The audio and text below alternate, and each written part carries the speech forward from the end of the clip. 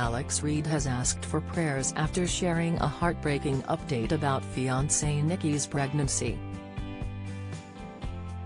The former cage fighter, who used to date glamour model Katie Price, revealed that the couple had been dealt with devastating news as Nicki Minaj's waters broke just 18 weeks into her pregnancy with the couple's twins.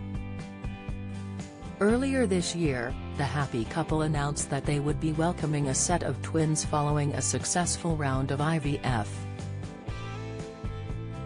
However, Alex, 47, revealed his heartbreak in a lengthy post as he informed his followers that Nikki had faced some tragic complications during her pregnancy with the twins. In the emotional post, Alex begged fans for their prayers and asked them to be extra sensitive about the couple's heartbreaking news. Please just pray for my family.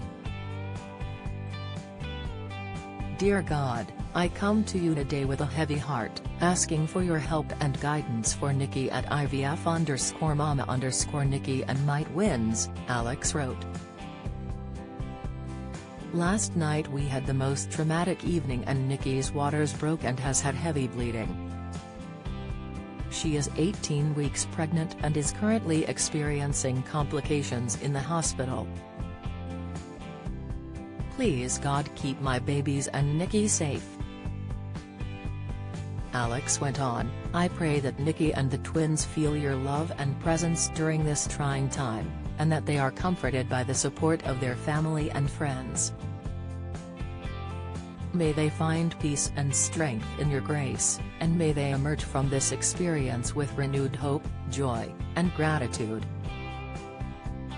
Alex and Nikki welcomed their daughter Anastasia, too, after a seven-year IVF battle. The couple have had a difficult journey to parenthood but said their dreams had come true when they discovered they were expecting twins earlier this year. Nikki has endured quite a traumatic time in her own journey to motherhood. The pregnant star almost died after an ectopic pregnancy before the couple embarked on IVF and after that, six pregnancies tragically ended in miscarriage before their miracle baby Anastasia arrived safe and sound in 2021.